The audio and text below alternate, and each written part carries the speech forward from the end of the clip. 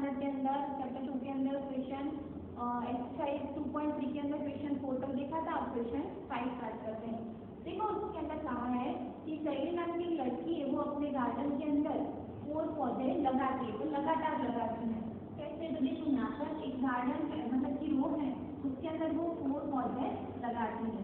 One two three four और फिर क्या बोला है कि distance between two addition flatting three upon four मतलब कि दो है जो उनके बीच का डिस्टेंस कितना है थ्री अपॉन फोर है तो बाकी का भी थ्री अपॉन फोर होगा उसके बाद भी थ्री अपॉन फोर है मतलब कि ये डिस्टेंस आपको दे दिया है और कहा है कि वन से लेके फोर तक ये बीच में जो डिस्टेंस है वो आपको फाइंड करना है तो कितने हैं वन टू एंड थ्री है तो हम यहाँ पे क्या करेंगे? Three upon four plus three upon four plus three upon four ऐसे भी कर सकते हैं, पर ये तो छोटा है मतलब कि थ्री ही काउंट करने इसीलिए हम कर सकते हैं आसानी से। पर यहाँ पर उसकी जगह अगर ट्वेंटी या फिफ्टीन दिए होते तो कैसे काउंट करके ट्वेंटी को प्लस करके जाएँगे? बहुत ही लॉन्ग हो जाएगा और टाइम भी ज़्यादा जाएगा। इसलिए हमें यहाँ पे क्या करना है? Three upon four multiply three अगर थ्री है तो थ्री लिखेंगे फोर है तो फोर लिखेंगे टू है तो टू लिखेंगे, पर हमें यहाँ पे थ्री लिखा है। तो क्या करेंगे हम?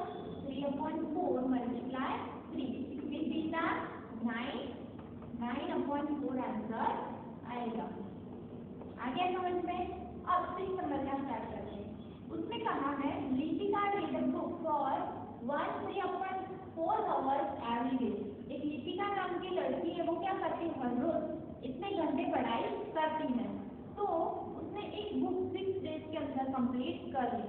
तो अगर एक दिन में वो इतने घंटे करती है पढ़ाई तो टोटल सिक्स डेज़ के कितने घंटे पढ़ाई की होगी उसने, तब जाके उसकी बुक कंप्लीट हुई होगी। तो ये आपको मिक्स फ्रैक्शन में समझ में आए तो एग्ज़ाम्पल लेते हैं कि वन डेज़ के अंदर एक घंटा पढ़ाई करती है। तो टू डेज़ के अंदर कितने घंटे होंगे? दो आवर वैसे ही थ्री आवर थ्री डेज़ के अंदर कितने होंगे? थ्री आवर देन यहाँ पे थ्री डेज़ के अंदर थ्री है तो मैं टेन डेज़ के अंदर कितने घंटे पढ़ाई करूँगी?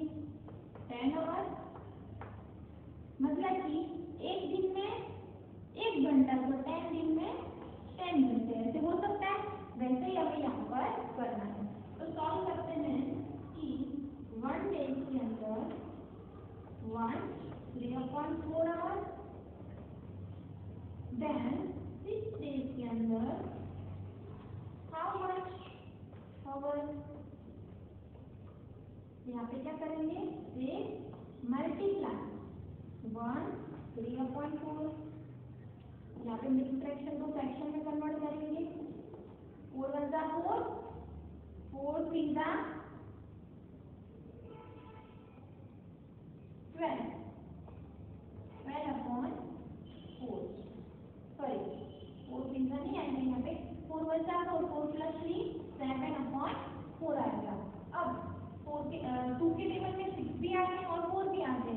टू टू ज़ा फोर देन टू थ्री ज़ा सिक्स तो यहाँ पे आंसर हमारा क्या आएगा?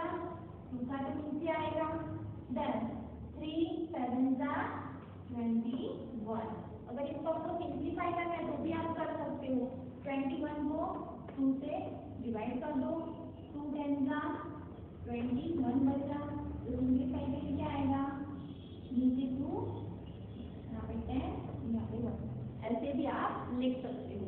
अब देखते हैं question number seven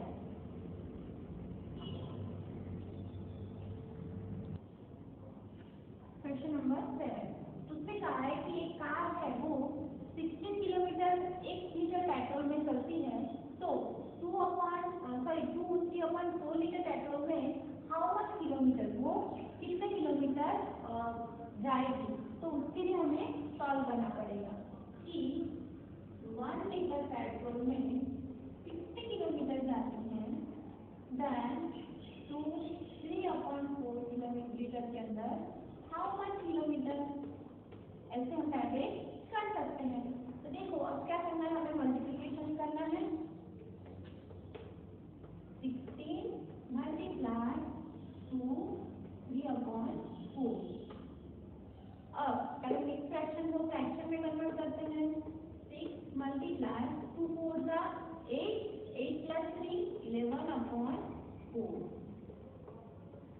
अब ये फोर के लेवल में सिक्सटीन आते हैं तो हम डायरेक्ट कर सकते हैं। फोर फोर ज़ा सिक्सटीन इलेवन इंटू फोर करेंगे तो फोर्टी फोर किलोमीटर वो इतने लीटर पेट्रोल के अंदर फोर्टी फोर किलोमीटर वो जा सकती है। अब देखो क्वेश्चन नंबर एक के अंदर, आपको जो ए पार्ट और बी पार्ट दिए, उनके अंदर भी दो दो पार्ट दिए हुए हैं। उसमें क्या कहा है कि टू अपॉइंट थ्री